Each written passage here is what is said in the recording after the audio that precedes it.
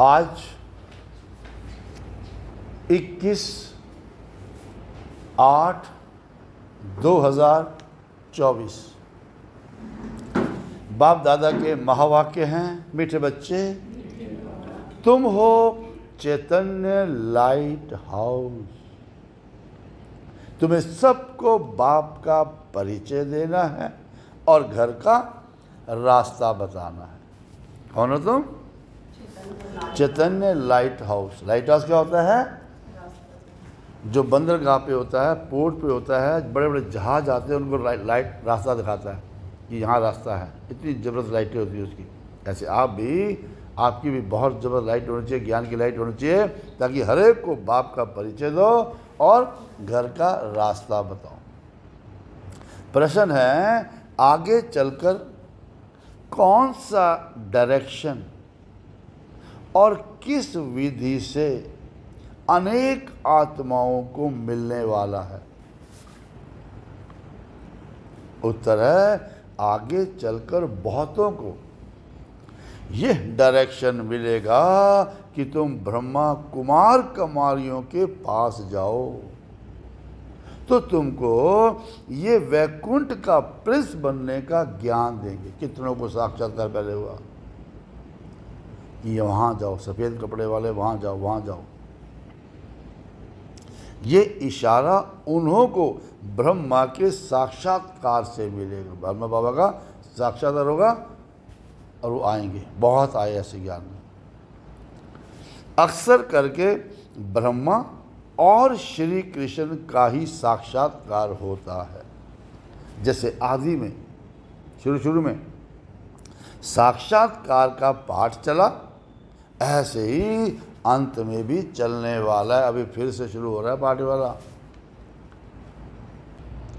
धारणा के लिए मुख्य सार है, पहला, बाप की याद के साथ साथ खुशी में रहने के लिए चौरासी के चक्कर को भी याद करना है। यानी स्वदर्शन चक्कर फिराना है।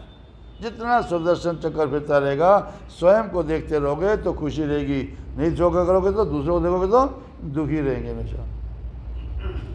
तो खुदा को अपना सच्चा दोस्त बनाना है। खुदा दोस्त की कहानी है ना? दूसरा, डबल अहिंसक बनने के लिए क्रिमिनल आई को बदल सिविल आई बनानी है। कैसे? हम आत्मा भाई भाई है, ये अभ्यास करना है। वरदान। सर्वशक्तिमान बाप को कंबाइंड रूप में साथ रखने वाले सफलता, मूर्त, भव, सफलता की मूर्ति बन जाओगे कैसे बनोगे? जब बाबा को कंबाइंड में रखोगे। हम दोनों इकट्ठे इकट्ठे जुड़े हुए हैं।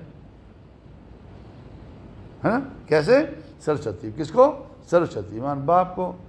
सबसे शक्तिशाली कौन है? बाबा। उसी के साथ जुड़ गया आप। कंबाइंड हो गए। साथ रह गया। सफलता मिलेगी, नहीं मिलेगी? सफलता की मूर्ति बनोगे बनोगे। तो सर्व, सर्वशक्तिमान बाप को कंबाइंड रूप में साथ रखने वाले सफलता, मूर्त, भव। बाबा का जिन बच्चों के साथ सर्वशक्तिमान बाप कंबाइंड है, उनका सर्व शक्तियों पर अधिकार है। और जहाँ सर्व शक्तियाँ हैं, वहाँ सफलता ना हो इम्पॉसिबल यह असंभव है। और यदि सदा बाप से कंबाइंड रहने में कमी है तो सफलता भी कम होती है। तो सदा साथ निभाने वाले अविनाशी साथी को कंबाइंड रखो। तो सफलता जन्म सिद्ध अधिकार है। क्यों? क्योंकि सफलता मास्टर सर्वशक्तिमान के आगे पीछे घूमती है। सफलता को तो बता मैं कहाँ जाऊँ? जो बाबा के साथ रहेगा, उसके आगे पीछे घूमेगी। दुनिया के साथ रहोगे, सफलता भी भाग जाएगी। बाबा के साथ रखोगे तो साथ रहेगी।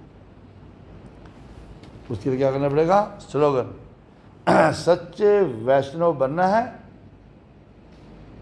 सच्चा वैष्णव वो है जो विकारों, रूपी गंदगी को छूते भी नहीं।